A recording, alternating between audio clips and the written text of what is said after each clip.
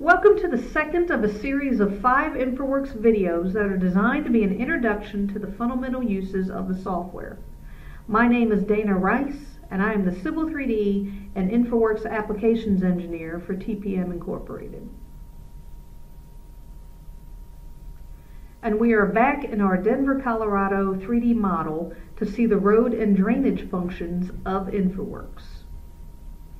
In this video, I'll show you how quickly you can create a road for preliminary design. We will also explore the drainage functions of InfraWorks. I have selected a boulevard style road to draw in.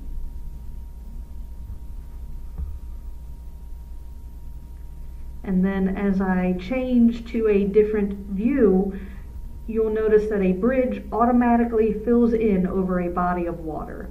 InfraWorks is designed to intelligently interpolate the terrain that you're drawing a road over.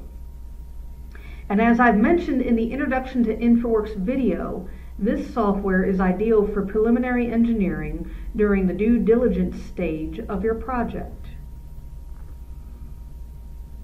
The quantities table on this bridge will update in real time based on bridge type.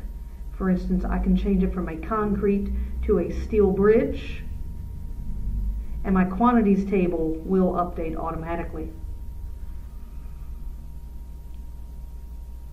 Let me switch back to an aerial view in order to show you that InfraWorks will create intelligent intersections automatically when a second crossing road is drawn in. This time I'm going to select a different style, one that has sidewalks and lamps.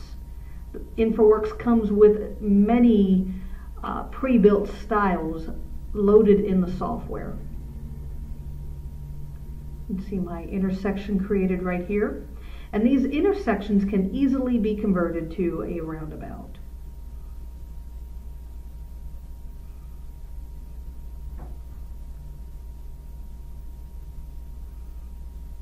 There we are.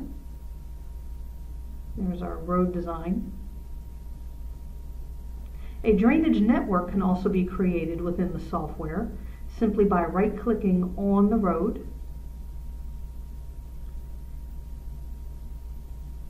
Design information is loaded into the software. However, this design information and criteria can be customized.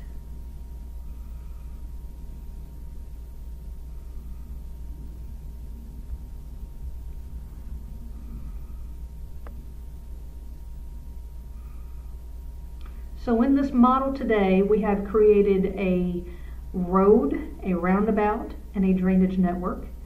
And those entities can be exported into Civil 3D directly, and they will import into Civil 3D as Civil 3D objects. The drainage network will import into Civil 3D as a pipe network with pipes and structures the roads will import into Civil 3D as alignments, as well as topo information, which as you can see here, the topo information from my 3D model will come in as existing and proposed surfaces. I can show you that over here on the tool space. The proposed terrain comes from the design road that is drawn in, in InfraWorks. We have our alignments. Here's our pipe network from our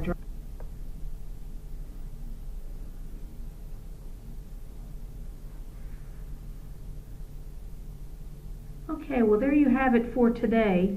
Uh, thank you very much for tuning in to our uh, InfraWorks video brought to you by TPM Incorporated.